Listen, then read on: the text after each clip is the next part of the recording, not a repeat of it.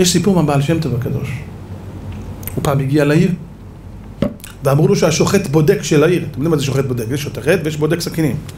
אמרו לו, הוא היה גם שוחט וגם בודק. הוא משהו פלא. בעל שם טוב הקדוש ניגש אליו ואומר לו, שמעתי שאתה, והוא בגאווה, כן הרב, אני, אין עליי. אמר בעל שם טוב, טוב, בוא נראה אותך. תעמיד לי סכין. אתם יודעים מה זה להעמיד סכין? לקחת, להשחיז אותה, ושהרב יראה שהיא חלקה. או השחיז אותה, בדק בעצמו, אומר לו, הרב, אש! בעל שם טוב אומר לו, מה? פגם? ואתה אומר שאתה שוחט בודק טוב? אתה מכין נבלות את ישראל? הוא התחיל להזיע. איך יכול להיות? וואי, הוא צודק. פעם ראשונה בחיים שזה קורה לו. עוד פעם הוא משחיז, הרב, הפעם זה טוב. עוד פעם, פגם? תגיד לי, אתה השתגעת?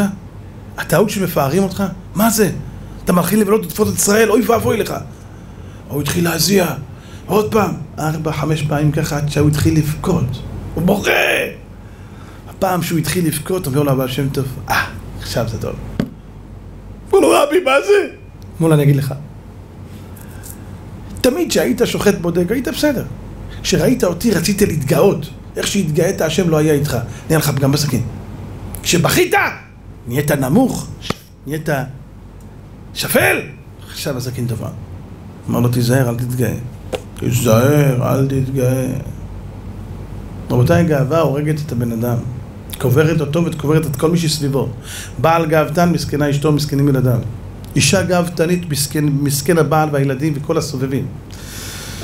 אנשים נוחים וענבים, איי איי איי והיה עקב! תשמעו, אם אתה תהיה בעקב שלי, ותפסיק, לא תתגאה, ולא תתנשא, ולא אני, ואני, ואני, מה פתאום אשתי זה את, והכל את, ובלעדייך מה היה?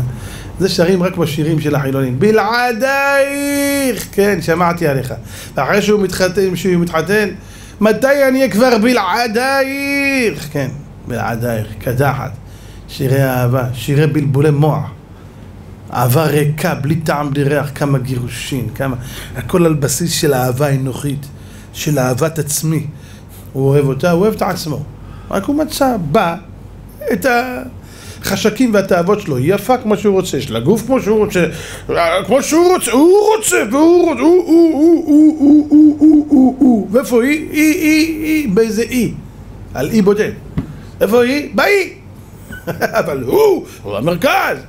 וברגע, אוי ואבוי לה שברגע שהוא יקלוט שהיא לא בדיוק כמו שהוא רוצה, או שהוא ראה מישהי קצת יותר טובה ממנה, באותו שנייה היא עפה לו מהמפה. דייג אוהב דגי? כן, בטח אוהב דגי. למה הוא מטגן אותה? הדג היה מעדיף להגיד לך, דני דייג, תעשה טובה, תשנא אותי. תשנא אותי, אבל אל תגן אותי, תתרחק ממני כמה שאתה יכול.